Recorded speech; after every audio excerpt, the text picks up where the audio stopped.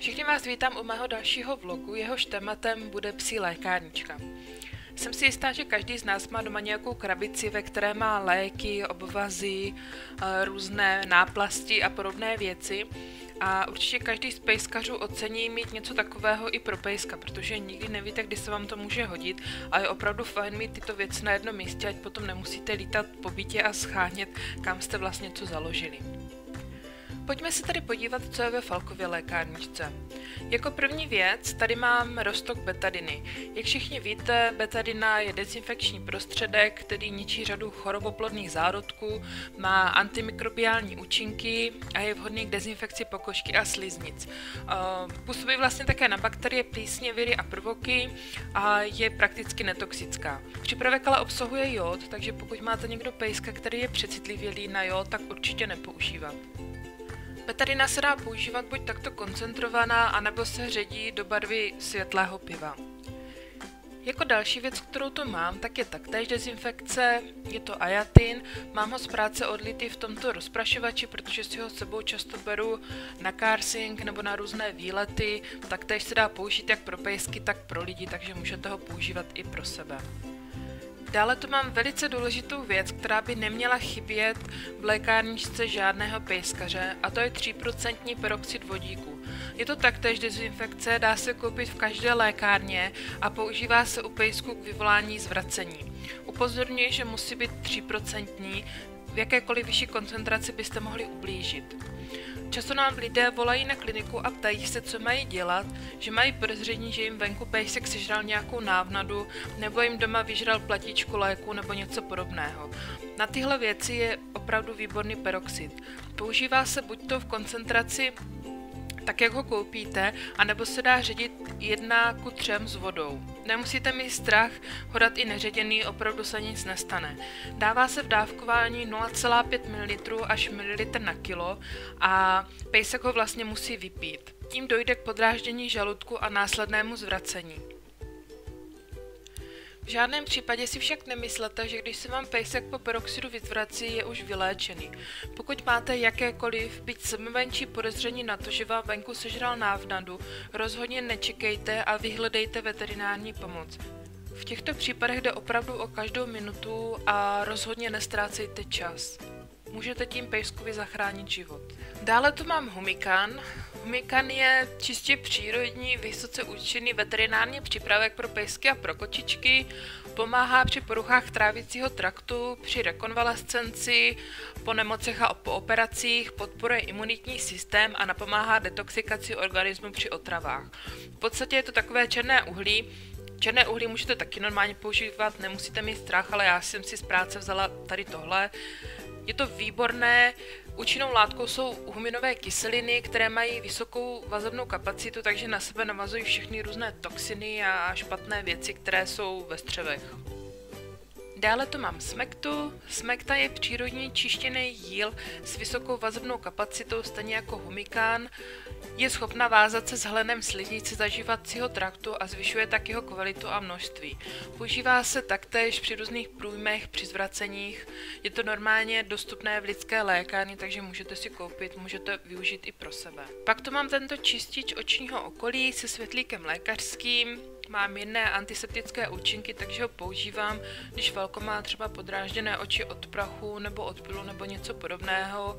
Dá se to hezky nakapat na vatový tamponek a celé to očičko tím odřít. Nemusíte mít ani strach, když se to dostane do oka, je to naprosto neškodné, spíš to tak, jak kdyby sklidňuje.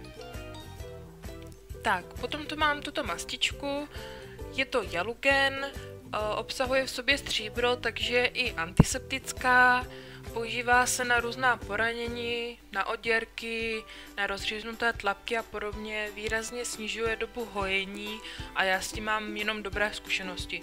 Určitě podobných mastiček najdete v lékárně spoustu, chci to vyzkoušet, co vám vyhovuje a s čím vlastně máte nejlepší zkušenost. Jako další věc, co tu mám, jsou tyto vzorečky, všechno jsou to šampony, Chlorhexiderm určitě znáte, dezinfekční šampon, Leniderm, je to šampon obsahující ovesné mléko, používá se na podrážděnou kůži, takže je výborný. Dají se sehnat u každého veterinárního lékaře, takže pokud budete mít zájem, určitě se nebojte se na ně zeptat. Další věci, co by neměla chybět, ať už ve vaší nebo psi lékárničce, jsou obvazy. Může se stát, že si pejsek rozřízne venku tlapku a vy budete potřebovat zavázat, takže z tohoto důvodu určitě je dobré mít pár obvazů ve své lékárničce. Můžete například využít prošlou starou autolékárničku, kterou musíte podle zákona vyhodit, nevyhazujte, všechny věci, co jsou v ní, tak si schovte a můžete si je právě dát do své psí lékárničky. U obvazu opravdu nevadí, jestli jsou rok, dva, tři, deset prošlé, stále se dají používat. Určitě budete také potřebovat nějakou náplast. Další věci, co tu mám, tak jsou rukavice. Ty mě teď moc nenapadá, na co byste mohli používat, ale určitě se v lékárničce nestratí, nikdy nevíte. Dále tu mám termofolii. Tuto mám od té doby, co mi jednou Falko spadl v zimě do vody a napadlo mi, že určitě by se mi něco takového hodilo. Takže taktéž mám ji z autolékárničky, mám ji tam danou, doufám, že ji nikdy nebudu potřebovat, ale jak říkám, nikdy nevíte. Potom tu mám tuto neoprenovou botičku, určitě každý z vás zná. Někdy se stane, pejsek si zatrhne drápek, rozřízne si tlapku. Je dobré ji doma mít nachystanou pro tyto případy, aby se do ran nedostával písek nebo nějaké nečistoty zvenku. Dále tu mám tuto modrou tyčinku, jmenuje se to Avoka, dá se sehnat u každého veterinárního lékaře, nejsem si jistá s její dostupností bez Verimexech, Používá se na zastavení krvácení drápků, takže pokud někdo doma stříhá pejskovi sám drápky, občas se stane, a stane se to nám všem, a těm, co říkají, že se to nikdy nestalo, tak se to určitě stalo taky, že pejskovi zastříhnete drápek a on krvácí, tak přiložíte pouze jenom tuto tyčinku na to místo krvácení a ono to vlastně to místo skauterizuje a tak to krvácení přestane za chvilinku. Tohle je elastické obinadlo, které používám hodně na carsingu, na zakrytí paspárku. Určitě je také dobré, pokud váš pejsek nemá rád botičky, jako třeba falko, tak použít toto obinadlo na přikrytí například poranění na tlapce nebo něčeho podobného. V žádné dobré lékárničce nechybí teploměr a na léto se vám určitě budou hodit kleštičky na klíšťata. Každý majitel pejska by si měl uvědomit, že ne všechny lidské léky jsou pro pejsky vhodné. V žádném případě bez porady s veterinářem nedávejte vašemu psovi léky, které jsou určeny pro lidi. Například takový ibalgin může způsobit vážné poškození jater a můžete tím pejskovi velmi ublížit. Pokud máte také nějaké podezření na jakoukoliv nemoc nebo si nejste jistí, určitě zavolejte svému veterinárnímu lékaři a minimálně se s ním poraďte. Nikdy nelečte pejska sami.